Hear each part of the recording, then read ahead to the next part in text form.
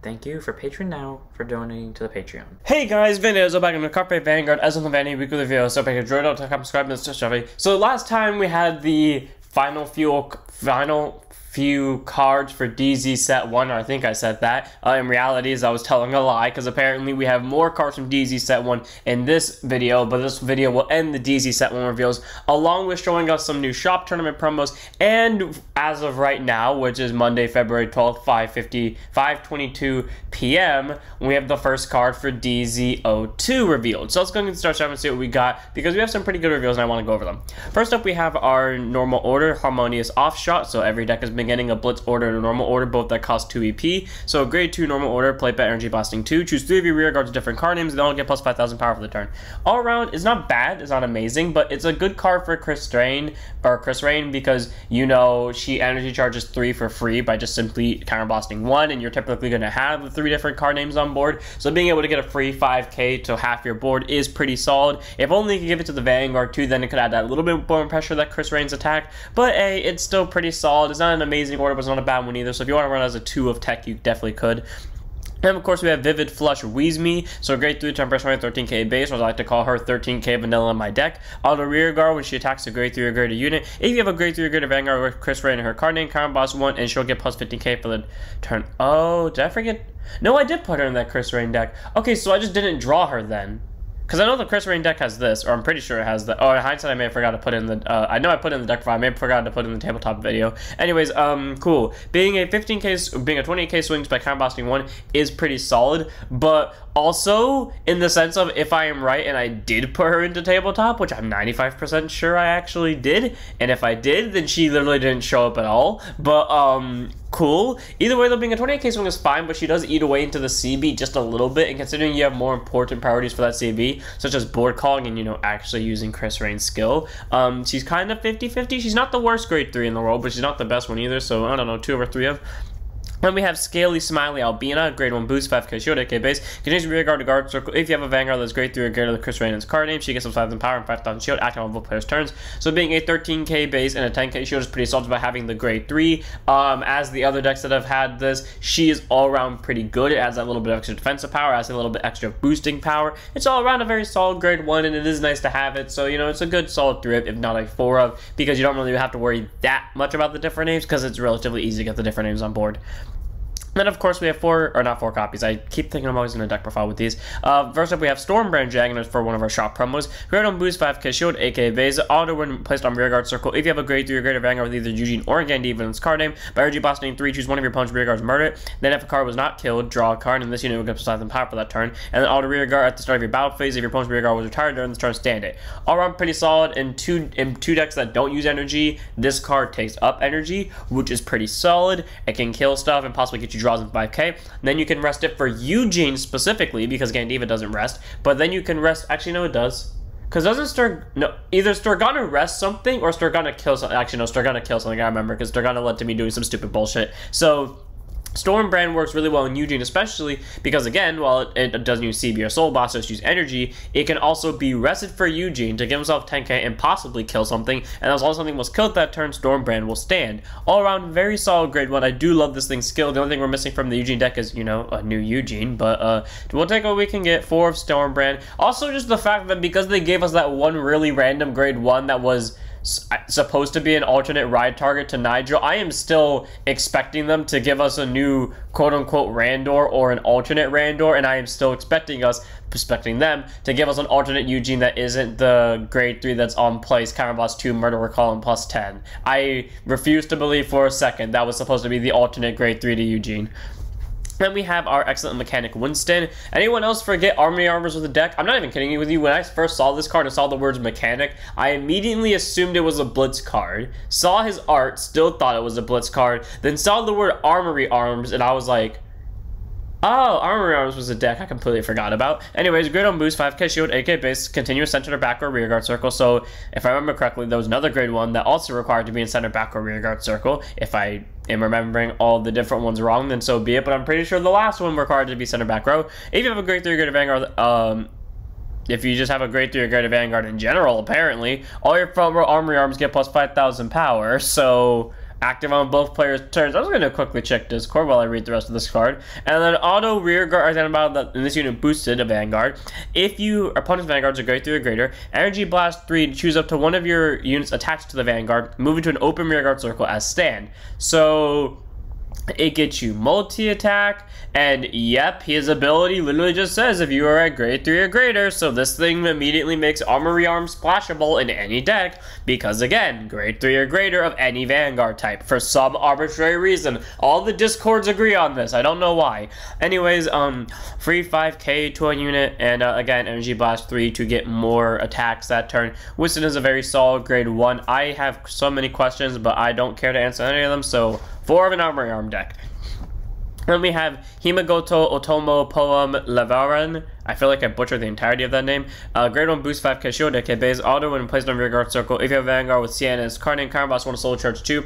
Then if you choose a card, then choose a card from your soul and add it to your hand. And then auto rear guard when your Vanguard with Sienna's card name is attacked. So energy blast 3 to put this unit into your soul. Choose whatever Vanguard, take a 50 power for that battle. Okay. I When I first read her, I thought Sienna was Laver sister, you know, the um the ones that have like the where you actually want the ride line to be on board because it gives like all of them the same stats as the Vanguard. Yeah, I thought she was her, and I thought for a second this card is trash because I don't think the deck needed soul charging, and I read this as when the Vanguard attacks, so I just thought it was horrible. And now that I'm seeing the remembering the fact that Sienna was the defensive one, yeah, this card's actually really good. Um, it gets you soul. It can get back the triggers you possibly send to soul via Sienna skill or possible PGs or just anything you sent to soul via Sienna skill or just soul charged off her. And also she gets herself to soul, spends a resource that none other card in the deck uses, and she gives the Vanguard a free 15k. Very solid 4 of in the deck. There's no reason not to run this. Then we have Stealth Fiend Kawahoshihime. So, okay, I love the moon. I don't love her. Grade on boost, 5k shield, 8k base. Auto when she's built on rearguard circle. Energy blast 3, look at top 7. She has a 2, she sorry, she has a 1 grade 2 or less card with glitter from among them. Call to rearguard and shuffle your deck. So it gets any of the Mimi line. Or for some reason you're randomly playing Ranlina in your deck, it can grab Ranlina. And then act rearguard circle. If you have a grade 3 or greater Vanguard with grade 3 Vanguard, specifically with Tamayura as card name, including Will-O-Wisp Daybreak, shove her to Soul, search the deck for up to one Will-O-Wisp Daybreak Tamayura, ride it as stand, shuffle your deck, and then if your Vanguard was placed during your ride phase this turn, or if you Persona Road this turn, you cannot activate Persona Rides until end of the turn. So even if you if Persona Road is active, even if you Persona Road other than um by normal ride. So Superior Rides technically on the turn you did ride, you just won't get the Persona Ride benefit out of it. But you can basically pull a mask. You, you can do what Mask does in, um, you know, other decks. I believe Mask required your opponent to be at grade 3 for you to do the Superior Red. I honestly don't remember, but if it didn't, then it does the exact same thing. And if it does, this is just faster Mask because you just get access to Tamayura almost immediately. Cool, four of it. Just a free superior ride that procs the second you get to grade three, and if you didn't ride that turn, Persona ride. Then we have Misdeeds Dragon, who does almost the exact same thing for the first skill at least. Grade on boost 5k shield, AK base, act rear guard circle. If you have a grade 3 Vanguard of Chaos in its card name, bind it, search it up to one soul on Toriel Chaos. Again, if your Vanguard is soul on Toriel, would still count it. Write it as stand, shuffle the deck, and then standard if your Vanguard was placed during the ride phase this turn or your Persona Road, uh, can't activate Persona Rides.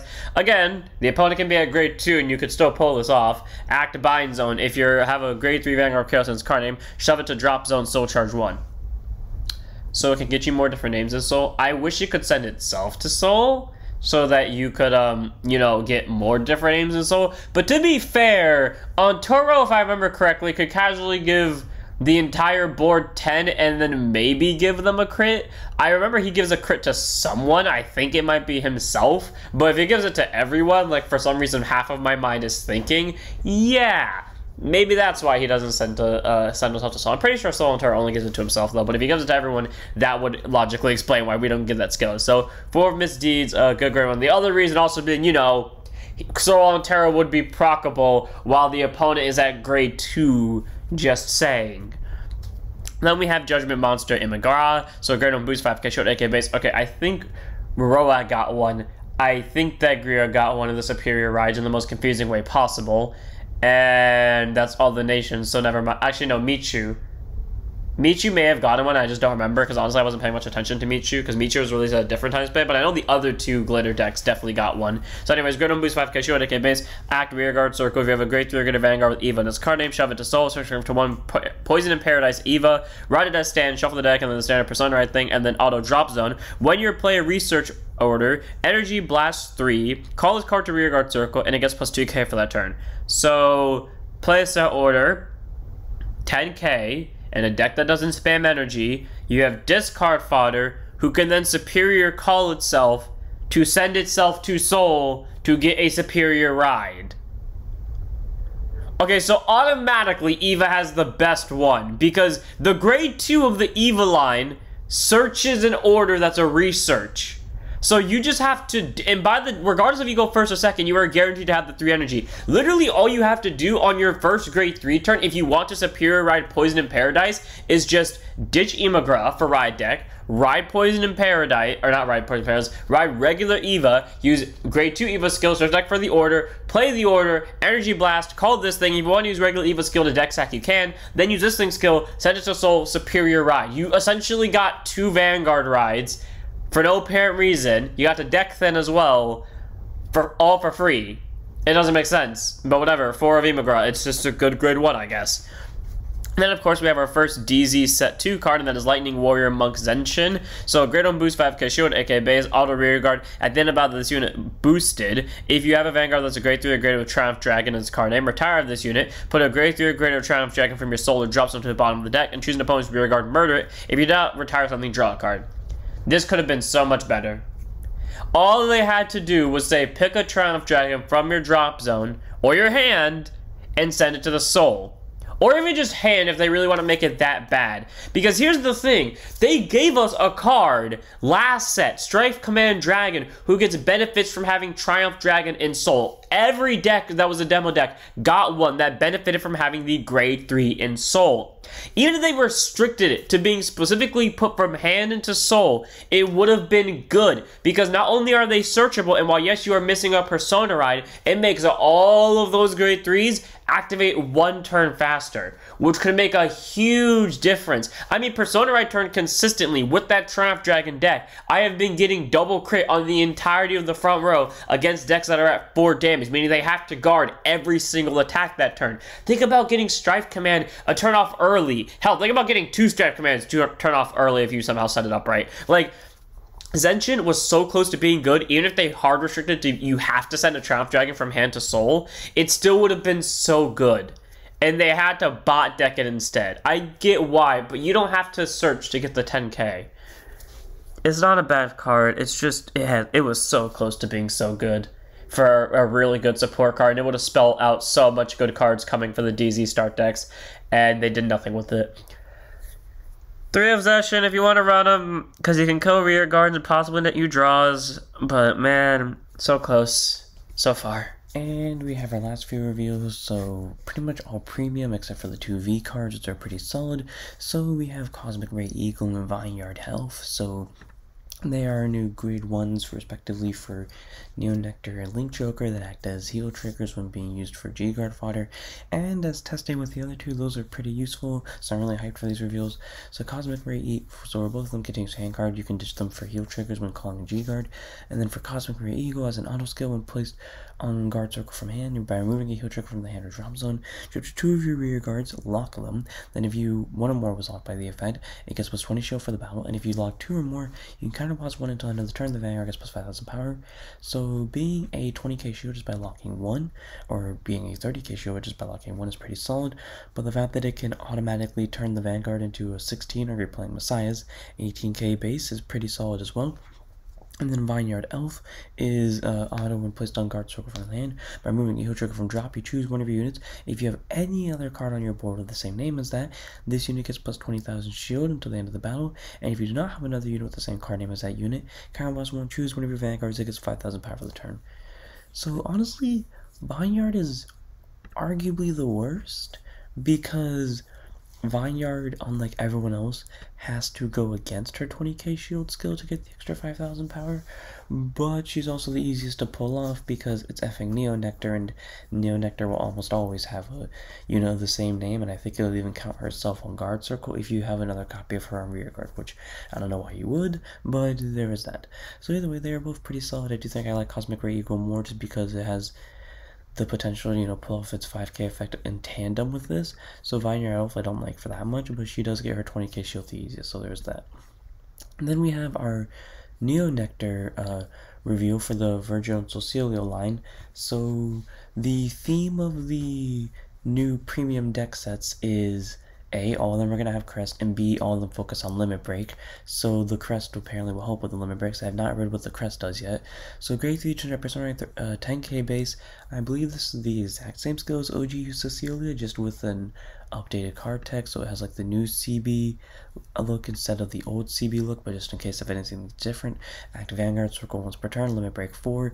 For those of you that are new to the game and started out with D, limit break activates when you are at 4 or more damage, so continues, or not continuous, cost counterblast 1, put 5 normals with nor musketeers and their card names on the bottom of your deck in any order, uh, search after 2, White the Musketeer Cecilia, call into rearguard circle and shuffle your deck. I don't know that was the OG skill. I feel like it was, but I honestly don't remember.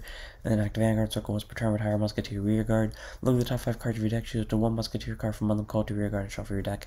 Uh, all around pretty solid, you know.